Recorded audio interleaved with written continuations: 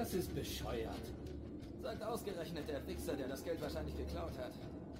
Hey Jim, du bist aber ziemlich schnell bei der Hand mit Anschuldigungen.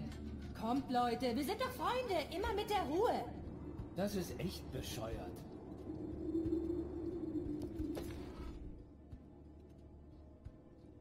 Was? Hilfe? Also, das ist eine lange Geschichte. Nein, das ist eine kurze Geschichte. Ich schreibe Kurzgeschichten.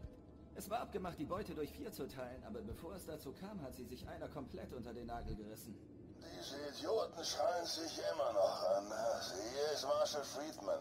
Wenn du mir einen Gefallen tun und diese Trottel zum Schweigen bringen willst, damit ich mein Nickerchen fortsetzen kann, dann wisse, dass nur einer von ihnen die Wahrheit sagen wird. Die anderen drei sind Lügner. Wenn du rauskriegst, welcher die anderen ausgeraubt hat, verpass ihm von mir eine Kugel in den Kopf. Das wäre prima.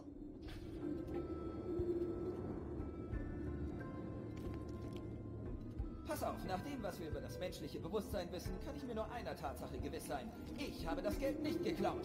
Ich kenne meine eigene Psyche und ich weiß, dass diese Psyche es nicht geklaut hat. Würde ich die Psyche der anderen kennen, könnte ich dir weiterhelfen. Aber leider kann ich nur für mich sprechen. Und das tue ich hiermit und sage, ich habe das Geld nicht geklaut. Also unter uns, oh Händler ist der Dieb.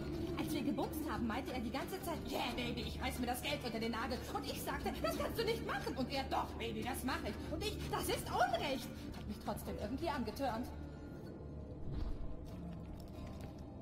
Sam hat das Geld geklaut. 100 Prozent. Nachdem sie und O'Candler unseren Coup ordentlich gefeiert hatten, habe ich gesehen, wie sie sich die Beute in die Hose gesteckt hat.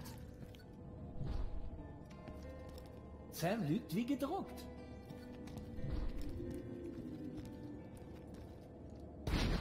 War nicht der Dieb, sonst hätten wir das Geld gefunden. Scheiße!